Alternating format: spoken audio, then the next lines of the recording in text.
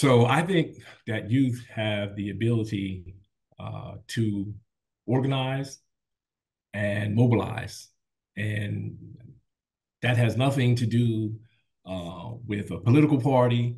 It has very much to do with um, youth um, bringing their ideas to bear and putting uh, pressure on the system in ways that uh, other demographics do in ensuring that, uh, again, that their values are being represented uh, in uh, in government and in, in, and also in, in policy. And so, like I said, I already believe that the the number one demographic who will determine the, the next president of the United States will be the 18 and 24 demographic. And so, young people are ready. I think that uh, even though I'm new to politics, I'm mindful of the fact that uh, at at some point the um, the generations that are ahead have to step aside and let young people um, take control of this country. And so uh, I hope to be a part of that. And, and uh, in fact, I hope to be able to mentor some people who will uh, who will follow me.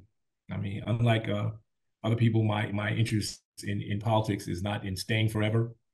In fact, I think that most uh, positions in government should be time limited. Um, so I'm I'm prepared to to invest in some young people so they they can be the voice of the next generation.